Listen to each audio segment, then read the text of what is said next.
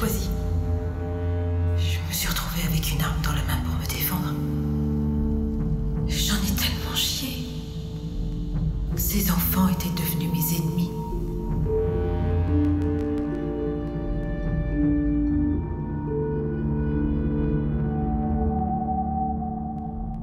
On n'arrête pas de vous répéter que ça va péter. On n'arrive pas à faire court. Vous ne faites rien. Je vous préviens que s'il arrive quelque chose à ma copine, je veux que tout le monde sache que le principal n'a rien fait, que l'inspection n'a rien fait. C'est pas un hasard si ça tombe sur elle. On sait tous qu'elle est limite raciste. Moi, par exemple, j'ai un bon contact avec eux. En plus, ils sont plutôt cool, on kiffe les mêmes musiques. Non, il suffit juste de savoir leur parler, c'est tout. Ben. Elle est fragile. hein. Déjà sur le plan pédagogique, c'est limite. Elle est un peu butée, quoi.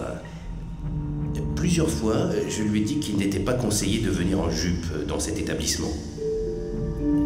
Que- ce n'était pas neutre. Et et de tenir compte du contexte. Alors, bien évidemment, elle a fait exprès de venir en jupe. Un peu psychorigide, quoi.